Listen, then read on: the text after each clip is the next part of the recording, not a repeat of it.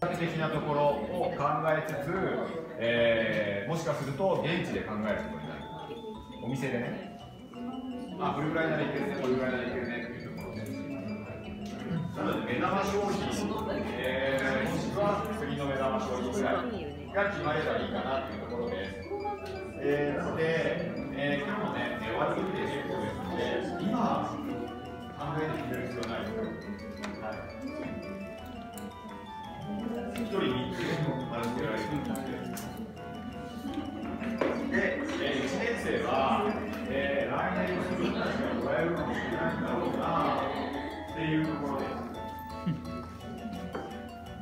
ただね、えー、何が誰に当たるか誰も分かりませんので、えー、皆さんが欲しい？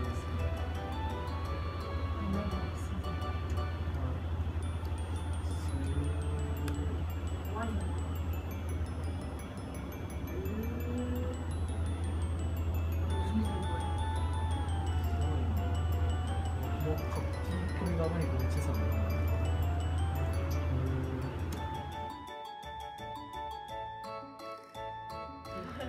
这个面呢？